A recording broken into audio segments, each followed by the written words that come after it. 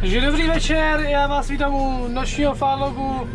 Dneska tady jsme začali stahovat slámu ječnou, eh, jelikož mě vyhnala vlhkost eh, z balíkování, takže jsem si vrhl, vrhl na stahování ječné slámy, kterou je potřeba nastahovat, jelikož zítra by mělo pršet, takže to je potřeba nastahovat. Já jsem si pro vás připravil speciálku, vzal jsem i sem drona, takže uvidíme, jak to, jak to, jak to půjde. Uvidíme, jak, jak to půjde to a jsem na to zvědavý, jak to bude vypadat na videu. A nebudu s tím dronem moc hýbat, protože a, a, ať, to furt, ať se furt nezasekáváme, nestojíme furt, tak ať to trošku odsejpá, taky chci dneska no, o, jinak. Dneska se mi stala taková věc na lisu, e, přestalo mi to vázat. Furt nechtělo to vázat, furt se zamotávalo ten válec. Já už jsem nevěděl, co s tím. Už asi po čtvrtý jsem to předělával, vytrhal jsem tu síťovinu, že jo, namotal jsem to, jak, se to, jak to mělo být a furt nic, furt to protestovalo, takže říkám, já už na to normálně kašlu. Jdu domů. No a nakonec na, asi na opátý, no po čtvrtý se mi to povedlo, takže zaplať bambu. Pak se mi ještě urval je za válcem, co usměrňuje to k tomu materiálu, tak se mi tam jeden ten držák ulomil, takže ten jsem svařoval. A v neposlední řadě, když jsem, uh, když jsem teď,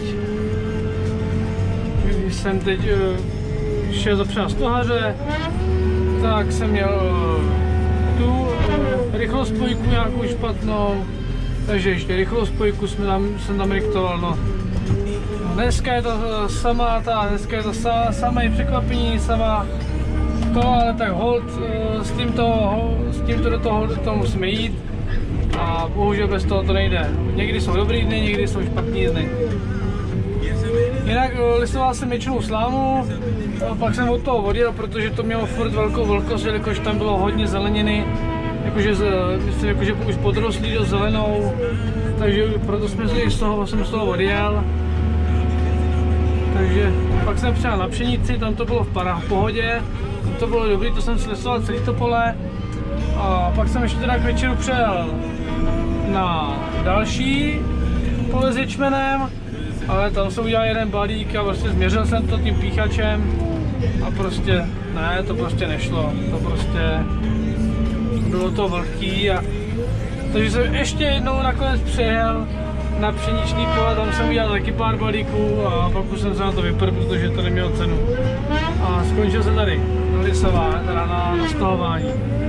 A hodně lidí si tenkrát psal, že bych chtěl noční video ze stahování, jako tady máte. Uh, já jsem včera měl i stahovat v noci, já jsem to říkal ve Fádlogu jednom, když jsem to šel včera, ale jelikož prostě to hrota řepková slama tak prášila, já jsem neviděl nakonec to jít do výložníku takže to jsem se na to vypr nakonec.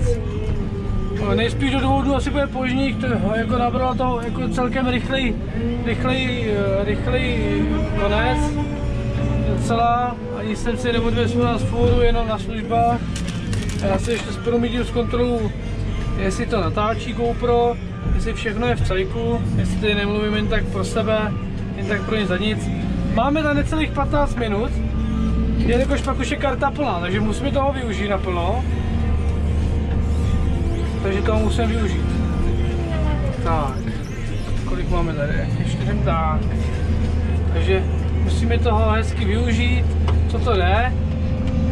A, tak, takhle se nahrnem si to tam. Já si vždycky dělám špičku, pak si zase kousek poschrnuju, abych si takhle udělal ten spodek hezky bych klidně mohl přelítnout s dronem, ať to máme zase trošku z jiné strany. Třeba odtud vyšlo. Tak. A pokračujeme dál. Uh, bude, v prských dnech bude následovat rozhodně rozmetání hnoje, podřebky, následné setí řepky, eh, které bude kolem 100 hektarů jako každý rok mají furt nějak jako postejnavo. Pak se bude sklízet mák, který vám doufám taky natočím, snad na něm budu jezdit. Doufám, že ano. se uvidí teprve a já doufám, že jo, protože vám chci udělat radost, chci, chci pro vás točit ty videa, to já se, to jsem prvně říkal, nebudu nic točit, pak jsem sem přijel a říkám, kurník, já to zkusím. Nevím, jak to úplně natáčí ten dron ve tmě, ale tak zkusit to můžu, vymazat to video můžu vždycky, že jo. No, tak jsem to zkusil a uvidíme, jestli to uvidíte na internetu prostě, no, to se uvidí. Já doufám, že ano a doufám, že se vám to bude líbit, že oceníte to, že tady prostě tohle, tady, takhle tady házím. Tak.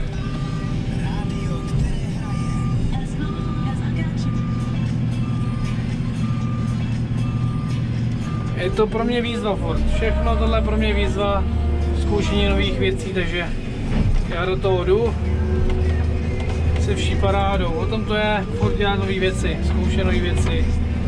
Takže o tom to je. Tak.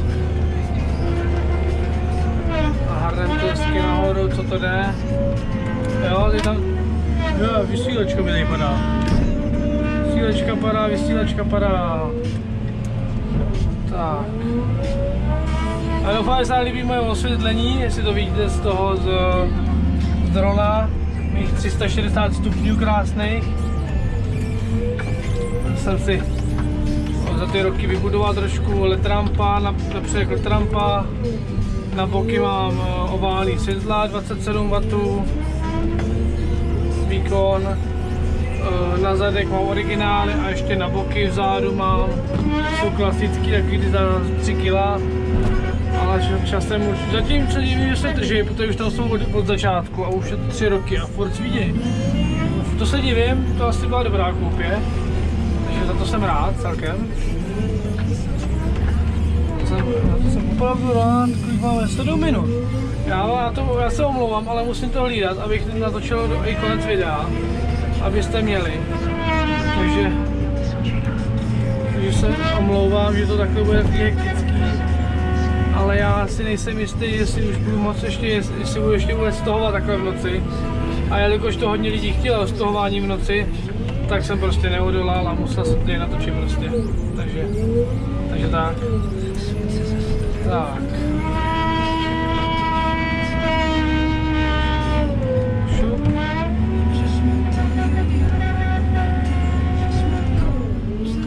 Přehodíme ještě kameru.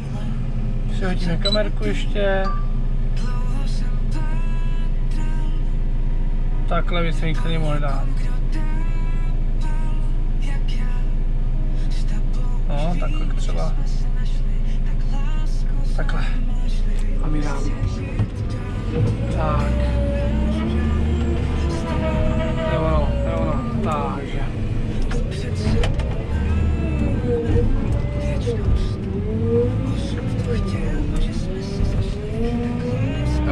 To rozdělený tak, že řepkovou slámu stousteleme na odkovně mladého dobytka, která je na skřivánku. Tam už jsme měli kydání z té odchovny a s obilnou, jasně s pšeničnou, se žitnou a s ječnou slámou steleme pod, pod, uh, pod dojnice, takzvaně. A, a podbejky a na teletní koták, takže takhle my to máme rozdělený, proto hlavně potřebujeme i tu řepkovou slámu, aby jsme měli s čím na ockovně stlát. Uh, vy si možná teď říkáte, že to je blbost, řepková sláma, ale ty šešule, co tam jsou, tak mají hrozně velký sušivý účinek, takže to, uh, když pak dáte to, ten hnůj, tak je to krásně suchý a nejde třeba taková ta břečka, jako občas třeba taháte z kravínu, tyhle, když tam je taková klasická sláma fakt to krásně saje, už máme to vyzkoušený, takže proto i tu řepkou slámu hlavně sbíráme. A pak to zpátky v, vracíme v podobě hnoje, který je velmi kvalitní i díky té řepkové slámě. Takže nic tam není, není to je nějaký důvodu, je to prostě z tohohle, ani do spalovny to nedáváme. Podle mě je to lepší, že se takhle přímo skrmí, a proč ne, já v tom nevidím důvod, proč by se to mělo prodávat do spalovny. A jinak se to vrátí do, zem, eh, do země, když se to všechno pěstoval, že jo. Až do, tý, do toho pole zase něco vrátí jako organiku. Jo, trošku mě občas třeba mrzí na některých podnikách, že vůbec nemají živočišnou. Já chápu, že se to nevyplatí, ale prostě ty pole trpí, ty do budoucna pole budou tak vyšosovaný, to samé, když to bude opakovat kuřice. Já chápu, narvou se tam hnojiva a podobné věci, naváží se tam digestát, ale ta organika vždycky bude na prvním místě, to je jako bez debat. To bude vždycky v top.